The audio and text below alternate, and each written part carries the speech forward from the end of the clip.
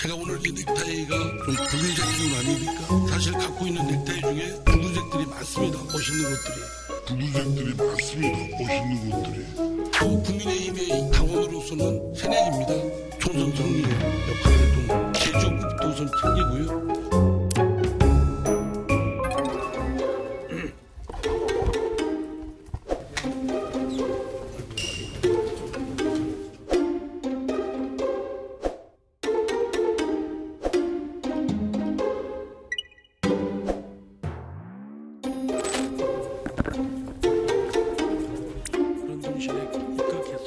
그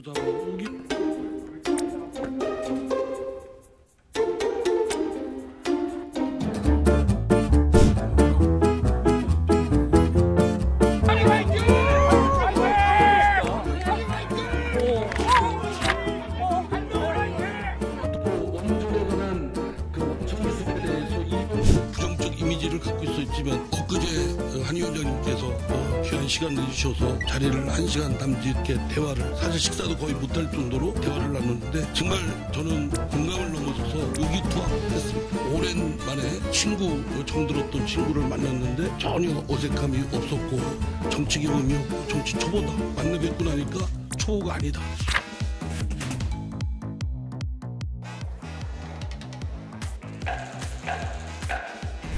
아니 5선까지 하셨으면 그만하세요. 아 육선도 해야지. 이 정도 중진 분들이 많이 국회의장 도전하시죠? 예. 네. 민주당 후보로 당선되고 국회의장 되기 vs 국민의힘 후보로 겨우 당선되고 국회의장 떨어지기. 아, 나 국회의원 되면 어느 네. 거든 좋아요. 아 좋아요. 어느 당이든 좋다고요? 예. 에라. 아 정의당 괜찮나요? 아, 정당도 좋아요. 아니 왜 그래요 진짜. 우리 공화당 가- 가십니까? 아, 제가 국회의원 되면 네.